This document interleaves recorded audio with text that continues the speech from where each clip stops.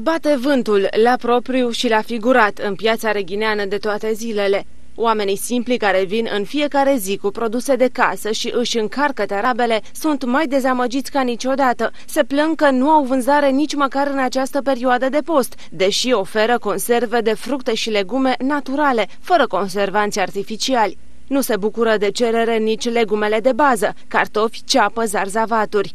Păsatul obținut din porumb, care stă la baza renumitelor sărmăluțe de post, n-are nici el clienți, cât despre miezul de nucă, piețarii au scăzut prețul și tot degeaba. Cei care fac prăjituri preferă mai nou un înlocuitor ieftin care se importă din Ungaria. Avem zacuscă, avem fasole, irian, avem murături, varză, de post, toate de La ce prețuri? Păi prețuri diferite și la nevoie mai scădem prețurile. Cum? Înseamnă că vă merge foarte bine vânzarea în această perioadă când avem post. Păi, putem zice că nu prea merge, dar nu. Vedeți, ce să facem altceva? Ce cumpără lumea? Mai cumpără zacuscă, mai cumpără murături. Se mai cumpără. Dar multă răbdare, trebuie să stăm în frig aici, în piață și așa mai departe. Văd că dumneavoastră aveți de vânzare păsat aici? Da. Se vinde? Se vinde când cum.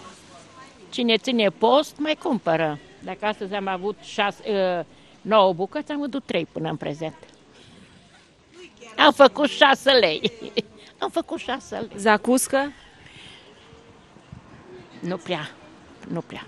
Oare au oamenii acasă sau nu se îndură să dea atâția bani? Pentru că n-au bani oamenii. Vine cu 2-3 lei ca să, să cumpere. Dacă cere... Nici măcar acum când este post? Da, nici dacă cerem 3 lei pe ăsta, pe cu un leu, cu 2 lei nu-l dați. Vindem foarte greu. Zacuscă. Altceva de post, fasole, zacuscă, bulionul iar e de post, altceva nu am. Ceapă? Au cerere.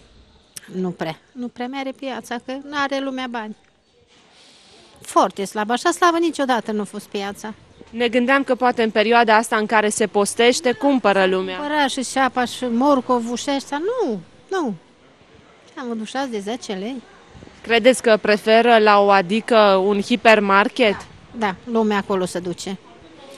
Cine are bani, doamnă, se duce acolo și cine nu are bani, nu are, nu cumpără. Cumpără un sfert de kil de ceapă sau un uh, sticlă de bulion sau foarte, foarte slab și foarte puțin se vinde.